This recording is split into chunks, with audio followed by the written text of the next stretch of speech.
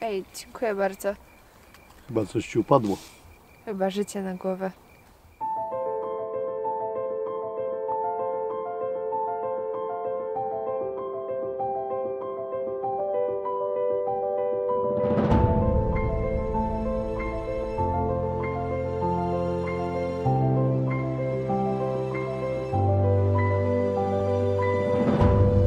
Kiedy ja to spłacę? Opuszczasz się w robocie. Jak znowu zostaniesz na nadgodzinach, to ja ci znowu za nie nie zapłacę.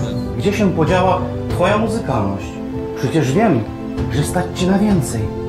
Z powodu presji, jaką wywierała na mnie babcia, zaczęłam uczęszczać do szkoły muzycznej.